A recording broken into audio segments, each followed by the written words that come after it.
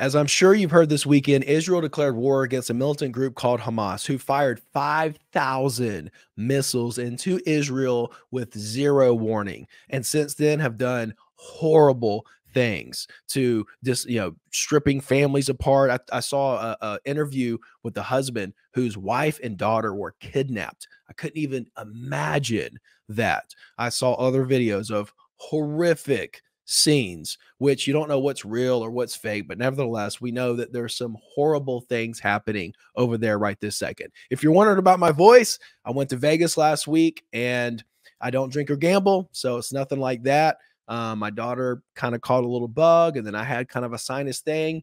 And then I spoke. I did a 30 minute speech, and the people in the crowd, um, you know, said this was the most powerful, moving, motivating speech that I've ever done. It, eh, they said it was raw, it was authentic.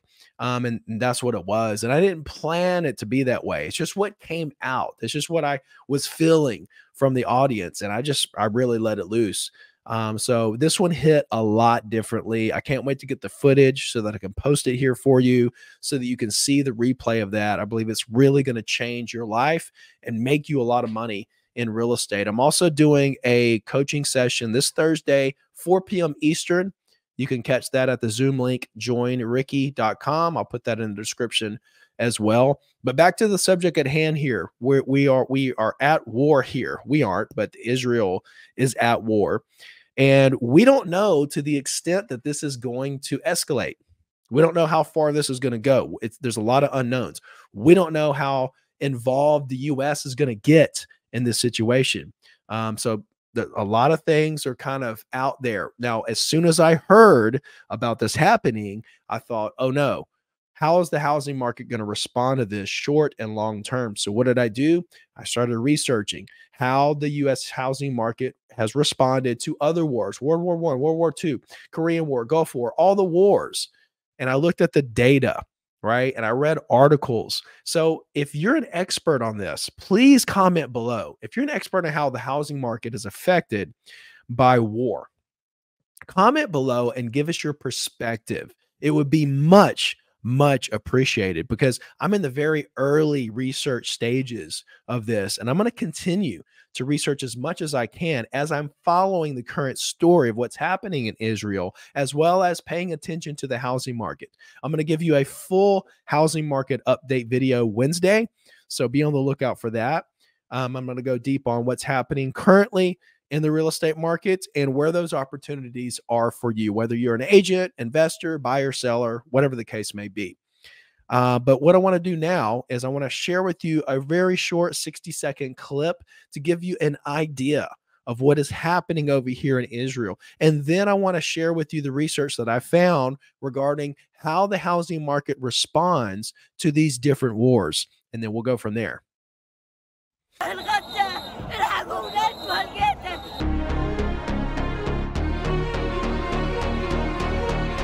For years now, Gaza has been a place of turmoil and strife, its people caught in the crossfire of a seemingly endless conflict. But the events that unfolded recently have pushed the limits of human endurance and tested the resilience of its people like never before. Residents at a Palestinian refugee camp in Gaza City searched through debris and moved people out of damaged building after an Israeli airstrike.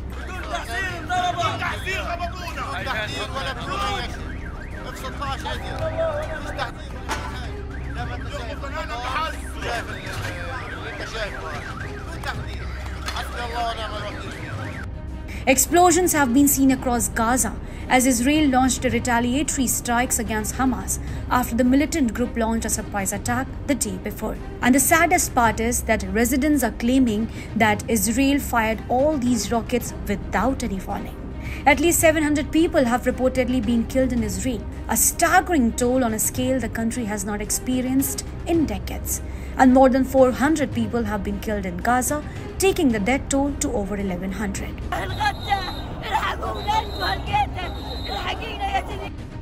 Fighters from Palestinian militant group Hamas attacked Israeli towns on October 7 with 5,000 rockets. This attack is the deadliest incursion into Israeli territory since Egypt and Syria's attacks in the Yom Kippur War 50 years ago. And that only gives you a very PG 13 experience of what is happening over there.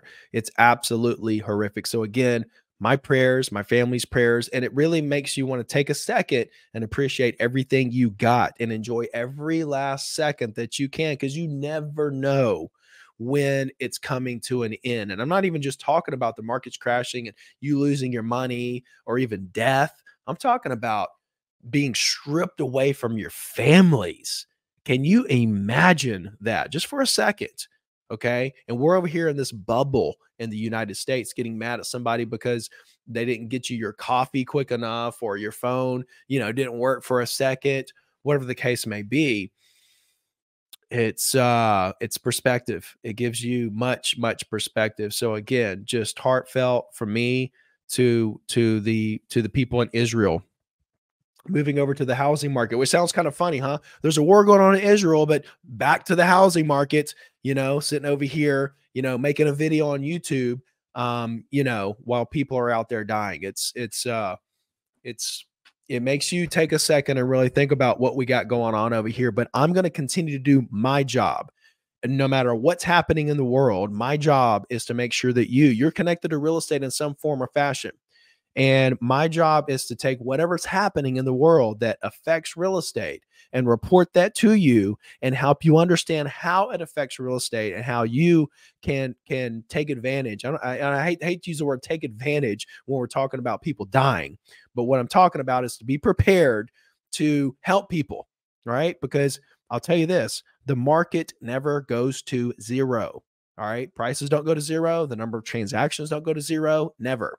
And so there that means there's always people that need to buy and sell that are going to buy and sell and they need someone to help them through those transactions. Whether you're by yourself, right? Whether you are an agent, an investor, a seller, whatever you are, okay? I'm here to bring as much knowledge as I can to you based on my research and what I am following along with and and, and the market itself. So I'm going to continue to do that regardless of what's happening because that is my job and I owe it to you and I owe it to myself to continue to do my job. So let's dive right in here. I want to talk about World War 1, World War 2, how real estate in the US reacted to those two moments and also the Great Depression. Maybe touch on that for a second. let me get a swig of Fresca before I do. Mm. Man, every time I take a sip of Fresca, I get a listing. You know, it's kind of like an angel gets its wings. All right. So right here we've got 30-year fixed mortgages. Let's dive right into that. Now, we're at 7.81. Can you believe it? We're literally about to be at 8%. Now, I don't, know if it'll actually get there. Okay, I'm not saying we're about to hit that. Um, but we're almost there. We're at 7.81. And there's a lot of bankers out there who actually are quoting some lenders who are quoting 8% on some loans. It's crazy. We're basically there. Um, you know, and what, what we're seeing right now in the market, I'll give you a full update Wednesday. Okay. But we're seeing an uptick in new listings more than normal. Okay. I want to talk about that Wednesday. Um, we're seeing prices, in my opinion, flatten out, even though we're higher year over year. We went up a whole percent, a 1% from uh, July to August. That's insane, right? That's 12% over a year. It's insane. It's insanity. Um, but we're going to talk uh, a lot more about that Wednesday. But we are at this 7.81% interest rate. So, what I wanted to first do is dive into interest rates. Okay. And this goes back to 1880. And you can see right here from 1880 to 1940. Okay. Interest rates never went above six or below five. They stayed in the fives the entire time. Crazy. What a run. What a run that interest rates had, that mortgage rates, 30 year fixed mortgage rates is what this is. And then in 1940, it dipped down into the between four and five range all the way to 19, you know, 55, 56. It stayed between four and five. Insane. Insane. And then we get into, you know, the 60s where it actually did break six. And then you get into the 70s and 80s where, oh my gosh, it went up to 19%. And then you see the down, the downward spiral of mm, 30 year fixed all the way up until now. which this is probably a year ago because it's got it at 6% right there. But I thought, okay, well, here is a chart of mortgage rates through all these wars and everything. And you can see right here, 19, right around here was World War One. Okay. Interest rates kind of stayed similar. World War II was right here, and mortgage rates came down during the war, World War II. Okay. So I'm just finding all this interesting, continuing to dig along. Now, looky here. I found this chart, uh, inflation adjusted. So keep that in mind. This is inflated inflation adjusted home prices. But look at World War One right here, and we see we started here and we end up much much lower. You know, home prices went down quite a bit in World War One. Quite the opposite in World War II. We start here and we end up here. And I do know the number there. It's 60%. You know, home prices increased from the beginning of World War II to the end of World War II 60%.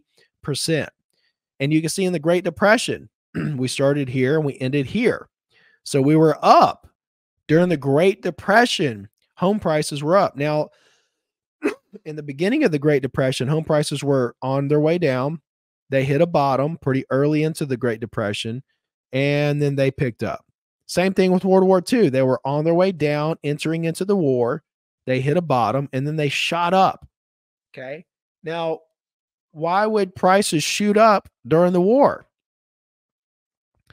And what were the what was the difference between World War One and World War II in terms of home prices? Okay. Well, I found this little piece of information. If US goes to war, okay, inflation and national debt will increase. Okay, leading to low interest rates and inflation. Okay, so it's like if we go to war, inflation happens, right? That leads to, to low interest rate and more inflation. So inflation leads to inflation. So if we actually, if this does escalate into into a war, then we could see national debt increase. We could see inflation, and we could see rates come down, which creates more inflation. Okay. And potentially impacting the real estate industry with increased prices and the need for the government to print more money. So, if we get into this situation where we get into war, it does escalate to that point. You know, during COVID, what did they do? Printed money. It created inflation and all these things happen. And now we're still in recovery from that.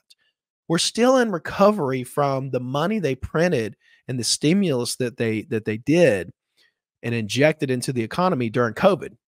That's what we're recover. That's what this is all about right now. Is inflation jumped up because of that, and they had to raise interest rates, and that's what we're kind of going through right this second. In the middle of us trying to recover, now there's a war over here. Not to mention the war that's still going on in Ukraine that we're funding and we're sending money for. So you got two situations over there with a lot of uncertainty in the market. There's also a lot of uncertainty with if we're going to go into a recession. There's a lot of uncertainty with the Fed if they're going to continue to raise their Fed federal funds rate. There's a lot of uncertainty in the markets right now. That's what I find, you know, worrisome when it comes to all this. So why does inflation increase? Why does inflation increase? when we go to war? well, war bonds. War bonds and taxes provide finance for the war effort and reduce demand for civilian goods and services. Okay, reduce the demand. To conduct a major war without that risks inflation. So they're trying to, you know, combat the inflation. If inflation is a risk during war, recession is another risk at the end of it. Okay, so Excuse me. So let me let me get all this straight. A war hits, we print money, uh, interest rates go down to try to keep the economy going and you know support the war, and then you know inflation happens, and then we hit a recession. That seems to be the cycle when I look back at you know GDP and all the different things when it comes to uh, you know, recessions and wars and everything else. Now, look at inflation during this is World War II. Overall, from 1939 to 1943, the consumer price index inflation jumped about 24%. Okay, now now you got to think that's over a four year period. Jumped 24%, while from 1943 to 45, just one year, it climbed only 4%. Okay, that's not crazy because over the course of four years, 24%, what's that, 6%? So it went from 6% a year to 4%. So it did come down, you know, but it was 6% a year during the war. Uh, a late 1943 comparison of the inflation related to key defense materials showed a dramatic improvement from the World War I failure. so what are they talking about there? Well, when you look at the prices in the World War One era, World War One and its aftermath, 1917 and 1920, then produced sustained inflation unmatched in the nation anytime since. Now, I think that I think we probably broke that last year.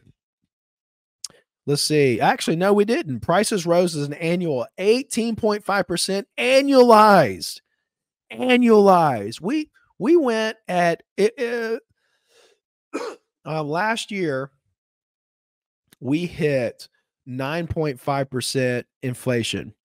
Okay. And what they're saying here is that we hit 18.5% annualized rate from December 1916 to June 1920. So, four years in a row, we're talking about 18.5% annualized rate, twice as much as the peak from last year. Wow, that is unmatched in any nation anytime since. Crazy. Increasing more than 80% during that period. Okay. All right. So here we have World War One, World War Two. Both of these times had inflation. Okay, World War One was way crazier than World War Two. Okay, 18.5% annualized. Um, but we did see inflation during those times, and we did see recessionary periods after the wars. And what did we see with home prices? Well, let's go back to that chart for a second, right? Let's go back to that chart to take a closer look here. Okay, now this is adjusted for inflation, of course. And we see that home prices dipped during World War One and after, came back up, had a little bit of dip during the beginning of the Great Depression, and then rose up.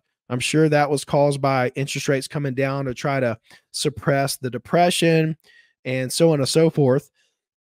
then we saw prices shoot up in World War II and continue to go up. And then they kind of stabilized for a while until the 70s and the 80s right? And then this big shoot up is actually the 2006 uh, you know, boom that happened.